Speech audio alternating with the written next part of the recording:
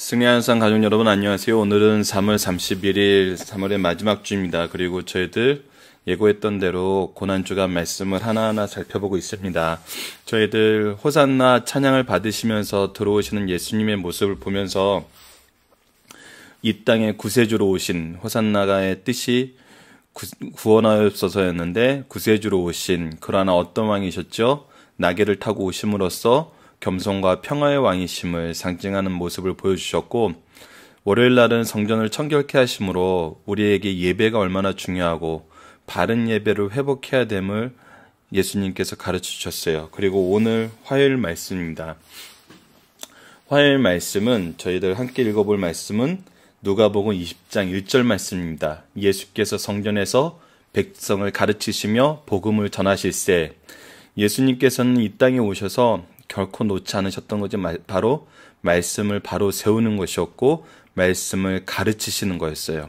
그래서 우리 승리하는 삶이 항상 말씀을 가르치고 말씀을 배우고 가르치는 일에 항상 앞장서는 이런 성도가 되길 원하는 것도 바로 예수님께서 이 마지막 공생 그 공생의 마지막 때 고난 주간 때 보여주셨던 그 말씀의 가르침을 따르는 가장 좋은 길이라고 생각합니다.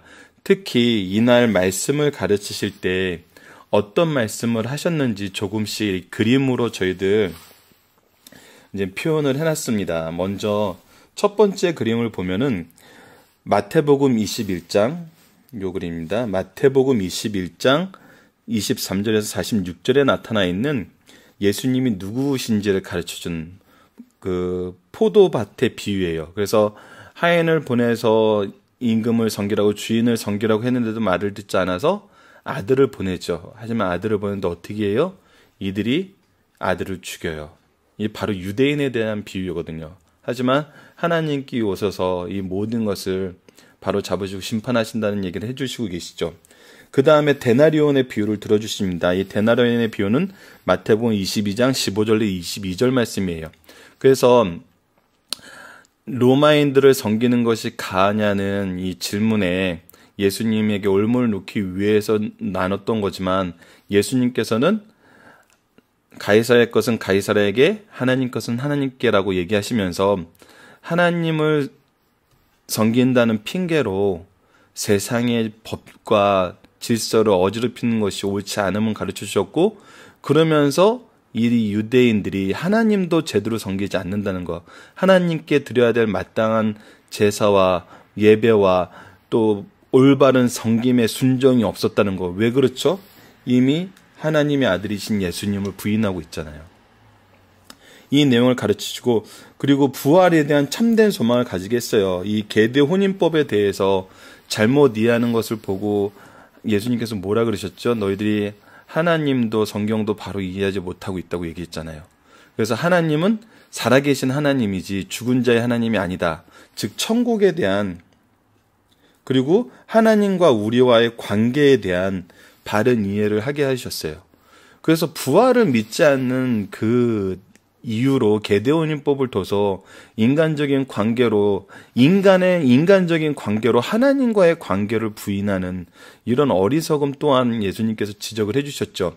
그리고 올바른 예배, 우리의 올바른 신앙인의 삶이 무엇인지도 가장 큰 개념, 개명이 무엇인지를 통해서 가르쳐 주셨어요. 이거는 마태복 22장 34절로 40절이죠.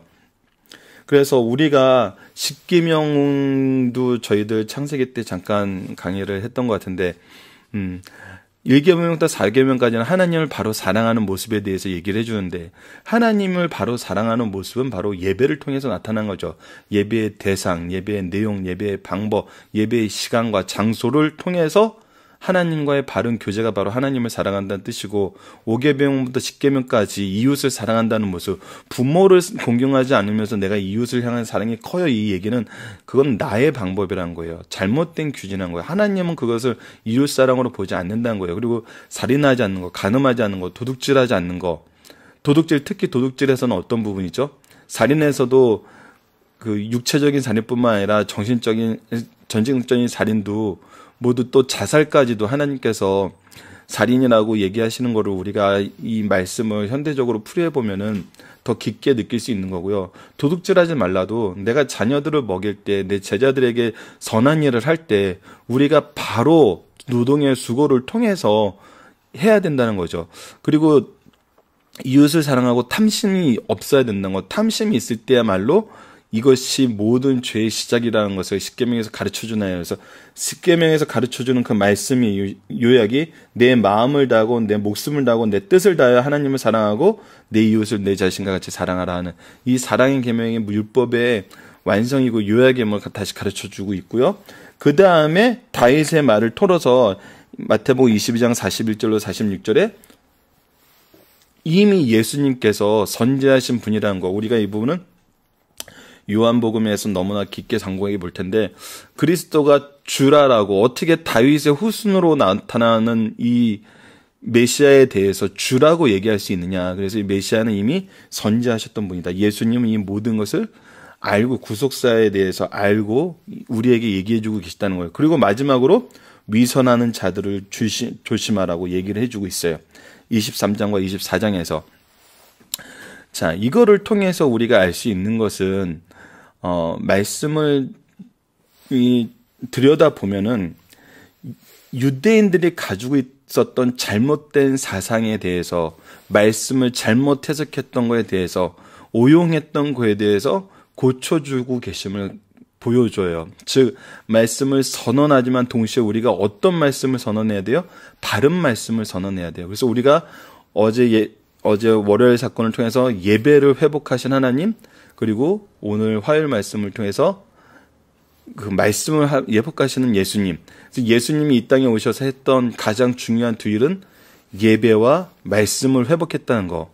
저희 승리하의 삶이 항상 말씀 중심, 예배 중심이라고 얘기하는 이유는 바로 이런 부분에 있다는 것을 여러분들이 함께 해주셨으면 감사하겠습니다. 자, 그러면 오늘 좀 이 여러 가지 말씀이 나와서 약간 시간이 길어졌지만 저희들 여전히 우리 기존에 상고했던 마가복음 말씀과 또 이거와 연결되는 마태복음 말씀 그래서 마가복음 13장과 마태복음 24장 오늘 하나로 묵상해 주시고 저희도 오늘은 이제 한부영의 약한 나로 강해라는 찬양을 들으면서 오늘의 묵상을 마치도록 하겠습니다. 잠깐 우리 찬양 같이 들으시면서 묵상하시도록 하겠습니다.